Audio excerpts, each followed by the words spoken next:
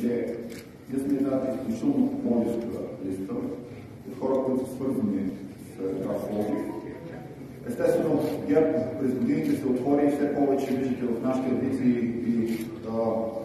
и будни граждани, които могат да допринесат със своите знания, умения, с такава добавена стойност, която към нашата листа, в случая виждаме и господин Радомир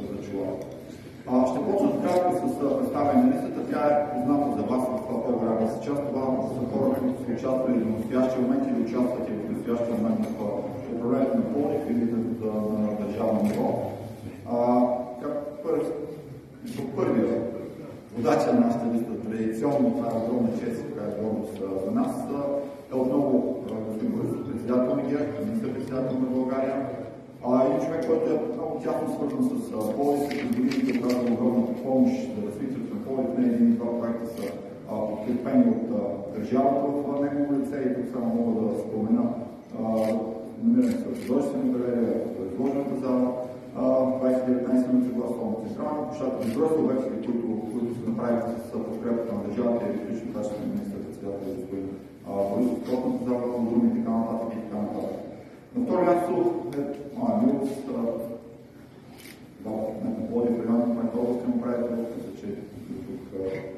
с, с моето представяне, господин Виждърши, е трети в нашата листа, един човек, който също е много, много свързан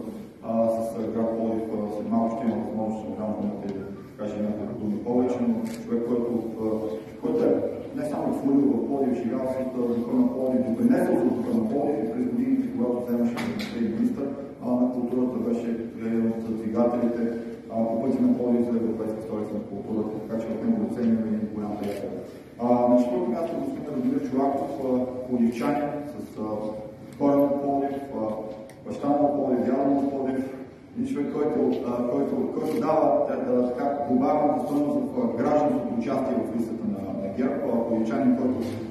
който е защитил името си не само на Плодивско ниво, но и на Софийско ниво и смятам, че ще бъде много полезен в, в, в редиците на ГЕРБ в Народното събрание. На пето място още един бивш кмет на Плодив и това показва колко как ГЕРБ дава една възможност за, за не само за, за израстване на хората в личното отношение, а да използва техния на друг опит през Спас Гърбински, кмет на Плодив, в един мандат след това участник в работата на Общински съвет за Плодив и естествено и в Народното събрание. На шесто място господин Александър Държиков. Тук имаме един човек, който е от първия ден в ГЕРБ, учредител на ГЕРБ, още от 2006 година участвал в различните комисии, работни групи на ГЕРБ през тези години. След това Общински съвет в мандат 2007-2011 година.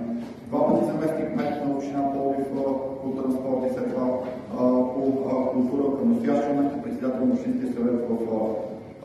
Пловдив и човек с огромна експертиза в различни сфери, в сферата на транспорта, културата, са на много, много добре познати, така че ще, ще